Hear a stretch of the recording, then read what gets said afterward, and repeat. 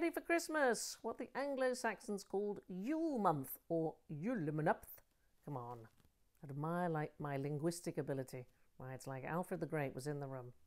Everyone celebrated as they headed to the winter solstice, the end of the long nights and the return of the sun. And who couldn't do with a bit of that at the moment? On Christmas Eve, the old Anglo Saxons celebrated Modraniht, Night of the Mothers, because back in those days, like any sensible household, women were revered.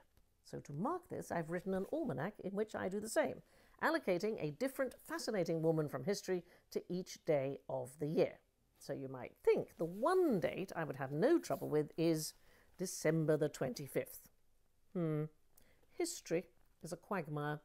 First of all, the word December comes from the Roman calendar and means the 10th month, which, unless you've been drinking heavily, you'll remember it isn't. So, for many in the West, December is all about heading towards Christmas, and it's worth bearing in mind that selecting the 25th of December to mark the birth of Jesus had more to do with convenience than fact.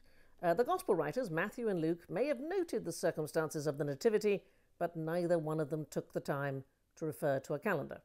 So I've had a look at what theologians nearer the time of the event thought, and old dudes like Clement of Alexandria placed the occasion on the 18th of November but he also suggested the 20th of May and the 6th or 19th of January. I'm going to suggest he wasn't sure. So it wasn't until more than 300 years after Christ's birthday that everyone settled on the 25th of December. It was an easy date to pick, as it was the winter solstice in the Roman calendar, and everyone tended to party then anyway. Of course, the date I think we should celebrate in December is the 29th, for it was on this day in 1886 that the dishwasher was patented. Have all the parties you like, but bless the woman who helped us clear up at the end. The dishwasher was invented by a woman called Josephine Cochrane. She was born in 1839, and I, for one, will always be grateful, although I have to say I'm not sure about some of the background to this.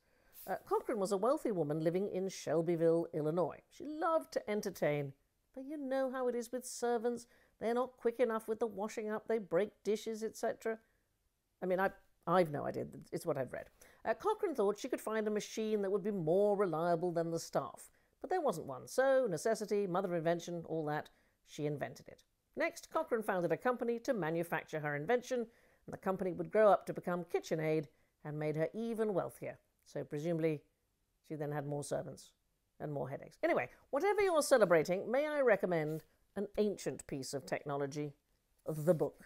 It'll keep you company at all hours it doesn't break down, and you can learn stuff.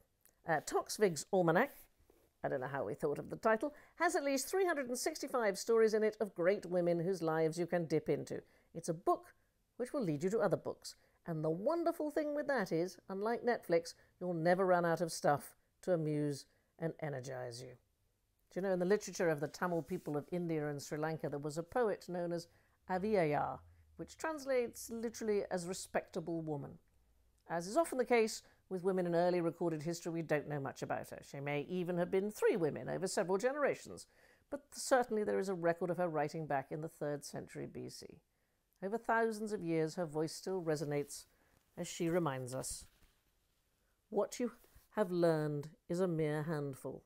What you haven't learned is the size of the world. Buy a book for Christmas. I genuinely can't think of anything more exciting.